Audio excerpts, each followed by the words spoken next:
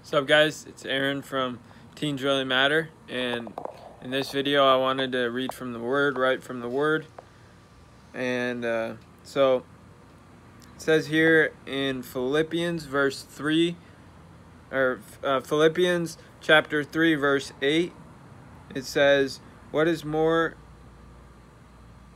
what is more I consider everything a loss because of the surpassing worth of knowing Christ Jesus my Lord, for whose sake I have lost all things. I consider them all garbage that I may gain Christ.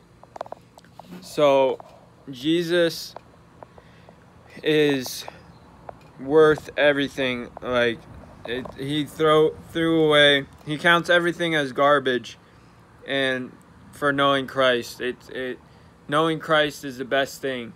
Um, and once you see Christ for who he is, you won't want any of the things of this world. They'll be like garbage to you. So if you really want to give up porn or whatever you're struggling with or sex outside of marriage or any sexual sin or um, you know even depression anxiety know jesus know christ and um, so thank you so much for watching. Be sure to subscribe for more videos and I'll talk to you guys later. God bless.